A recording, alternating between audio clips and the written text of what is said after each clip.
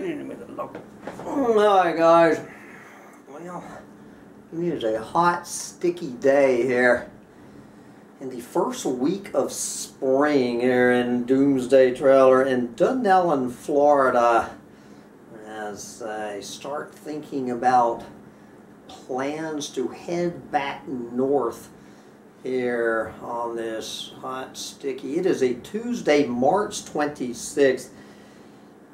2024 and since it's too hot and muggy to be out there uh, planet nibbling uh, just thought I, I, I know how fascinated you guys are with uh, this whole Doomers Florida real estate investing stories but uh, I'm actually going to tell the uh, kind of go back to the infamous ham sandwich story from 1989.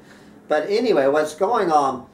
So yesterday, finally, now that all of this last minute bullshit with this title company, blah blah blah, dealing with that nasty little bitch at the title company, driving fucking back and down there halfway across the state of Florida, blah, blah, blah. We have 100% of our ducks in a row. Uh, everything is there.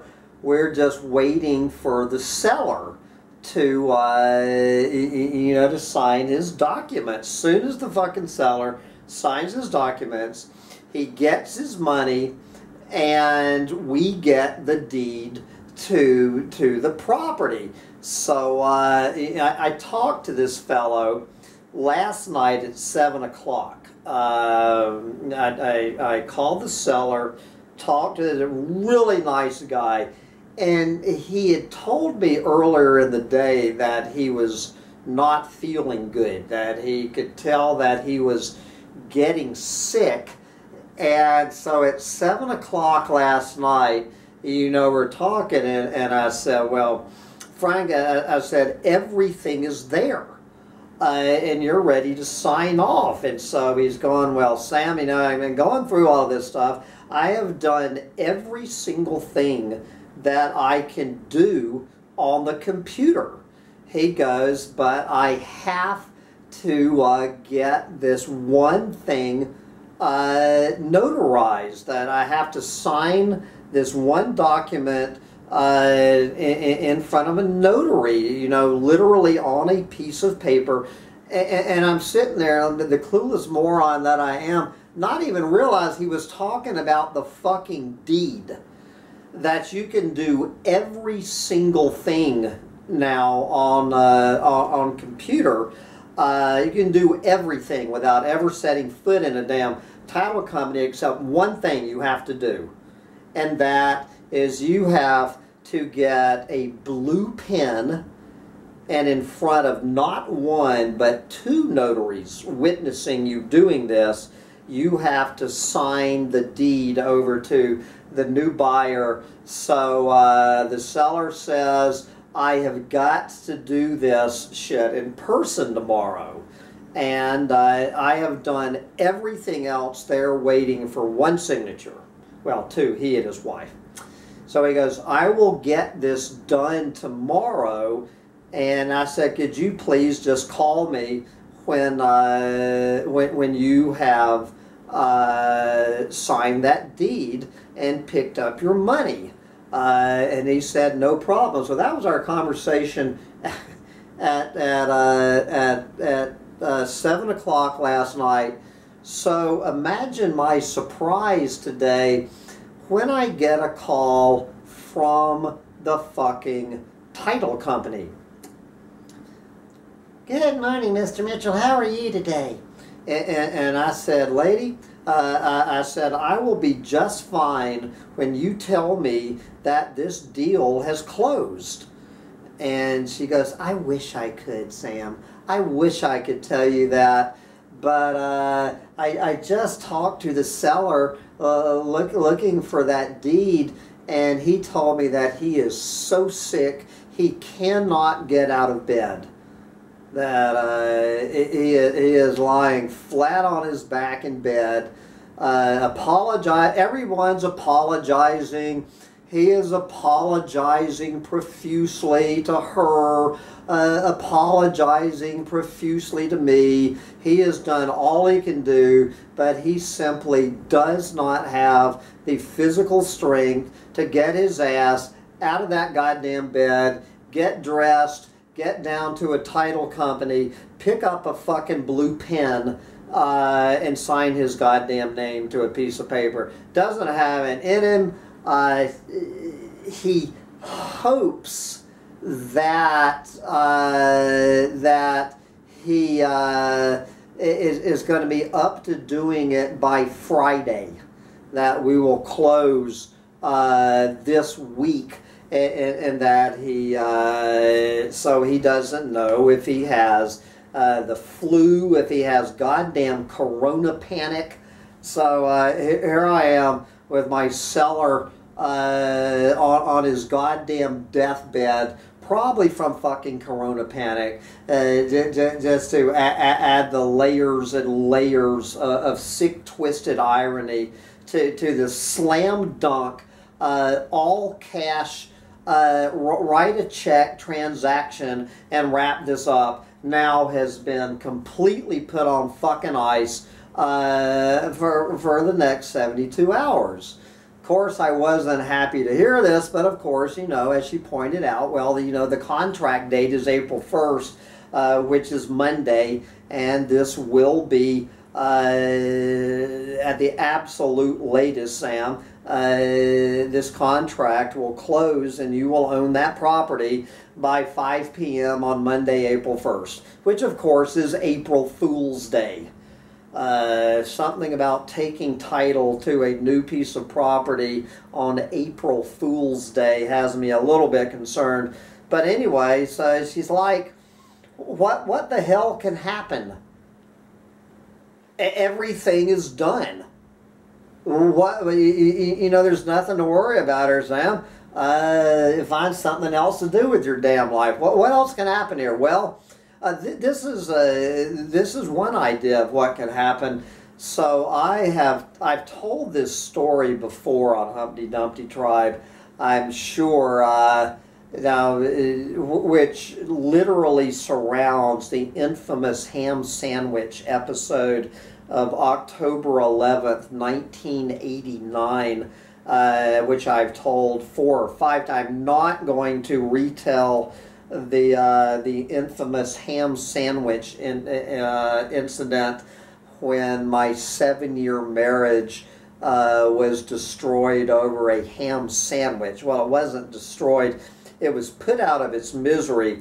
So that was October 11th, 1989 is when my late great dear sweet ex-wife and I parted company in Sweet Home, Oregon. Sweet Home, Oregon, uh, where uh, she and I had moved to this little small town in Oregon, eh, you know, to try to simplify our lives and uh, you, you, you, know and work on the marriage and get a new project we could work on. So we bought this old house on uh,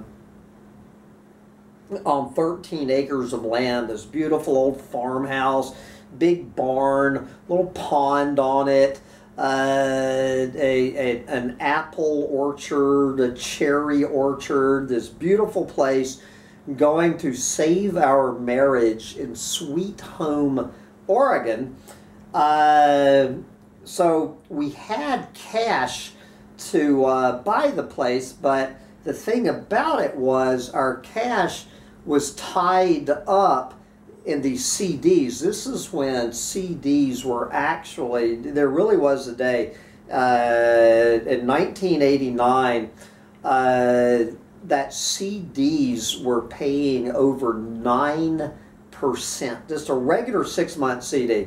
So we had uh, a $106,000 CD uh, from our sale of our house in Santa Cruz, California that we had we had sold uh, the spring before, taken the $106,000 and put it in a six month CD uh, to get that 9% interest while we were shopping for a new house. And, and, you know, up in Oregon. So it gave us plenty of time. So uh, we, we found the house. Uh, we fell in love with it. We moved into it. We were already painted the house. They're doing all of this work on it waiting around for this CD to clear, this $106,000 CD to clear, which was scheduled to clear on October 10th. October 10th, 1989. So uh, it was $79,000 cash offer. So I had promised this seller that on October 10th, 1989, that uh, I was going to write, well, my dear sweet ex-wife we were going to write him a check for $79,000 in cash and he was going to sign the deed over to the farm on October 10th. And we moved to the house. We've been living in the fucking house for four months. So, you, you know, it's getting closer and closer and closer to the date. So, you know, I call the guy, uh, Hatton Herman. So I, I call the guy on October 9th and go, brother, I, I, I said, you do know that this CD matures tomorrow. And I have a check for $79,000 with your name on it. So where do you want to get together tomorrow? Meaning October 10th, 1989. So uh, my, my dear sweet wife and I uh, can sign this check over to you and you can have your $79,000. And he just goes, oh, you know, Sam, I've got a lot of stuff uh, uh on, on my docket. Can we make it October 12th? Can uh, I meet up with you and Caroline on October 12th? And you can just give me the money then. And I said, and I kind of laughed uh, and, and, said, well, you, you, you, know, you've got $79,000 waiting for you tomorrow. Uh, and he goes, oh, he, he goes, no problem. Uh, I can live without the $79,000. So we made uh, an appointment to meet for lunch on October 12th, uh, 1989. And uh, my dear sweet ex-wife and I were going to give this man a $79,000 check. Uh, and uh, he was going to sign the deed. Uh, over to you. He was going to sign the deed, give us a signed deed. We were going to give him $79,000. That was the plan that uh, we made on, uh, on the evening of October 9th. Well, we all know what happened on, uh, uh, uh, on the morning of October 11th. 1989 is when the my my seven years of uh, of uh, domestic bliss with uh, that little Hitler youth uh, that, that I had married came to a crashing halt over a ham sandwich. And since the uh, CD had cleared and it was now, uh, I just got in the goddamn car. I drove up to the bank. I took $53,000 in cash uh, out of the bank in Sweet Home, Oregon, and drove off into the night and drove to Costa Rica and uh, came back next spring and I and I noticed when I got back from uh, Costa Rica I went up there uh, in May to see if there was anything left on that property that I could scrounge and saw the for sale sign still sitting there. Uh, six months later he still had not uh, he, he, st- he still had not sold that house. And uh, anyway, now I did lose the thousand dollar deposit, of course. I mean that was fair. Uh, so I guess that ham sandwich uh, did cost me a thousand dollars. It cost me my marriage and uh, the thousand dollars. I don't miss the I don't miss the marriage, but I'm sure I could have used that thousand that thousand dollars. But but I but I guarantee you this.